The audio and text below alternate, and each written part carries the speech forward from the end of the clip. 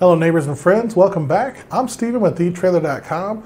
Today we're taking a look at the replacement self-tapping screw for your Thule T2 Pro platform bike racks.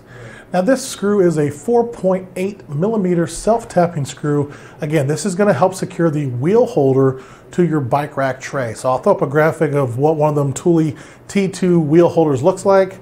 So it's, it's gonna hold this onto the bike rack itself. Again, this is just one replacement, four millimeter self-tapping screw. Again, you get quantity one with this purchase. Well, folks, that's gonna do it for our look at this replacement self-tapping screw for the Thule T2 Pro platform bike racks. I'm Steve with eTrailer.com. Thanks for watching and have a great day.